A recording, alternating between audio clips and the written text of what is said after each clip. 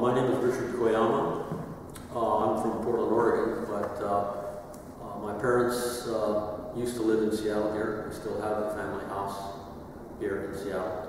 My father made the dresser drawer, this uh, six drawer dresser, and the back of the, the back panel of that drawer has uh, the address uh, of their location in, in Minidoka, I believe. That could have been made, I think it was probably made in Minidoka, but it, it could have been made from the crate that housed their possessions in shipment from Tule Lake to Minidoka. That's why it's got that address on there.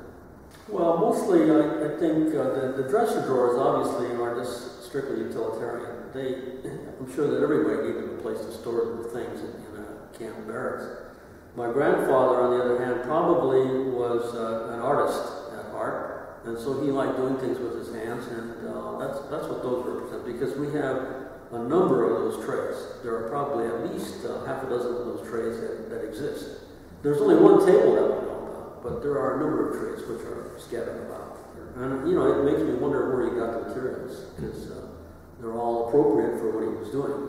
So, yeah, the, uh, there's a card table, three by three card table, and a smaller tray, which were made by my grandfather. My grandfather made those definitely in uh, Tule Lake because he never moved from Tule Lake.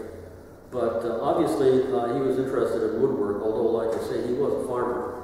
But uh, he, he liked to do woodwork, and uh, I like to do woodwork. Perhaps I inherited some of his uh, genes from that perspective.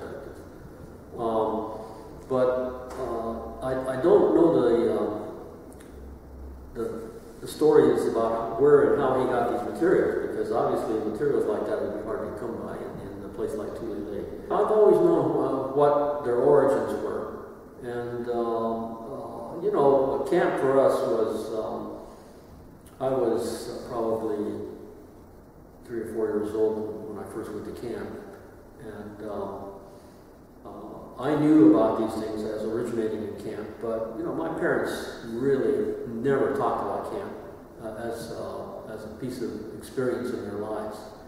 It, it obviously was a uh, piece of experience in their lives, but not something that they talked about.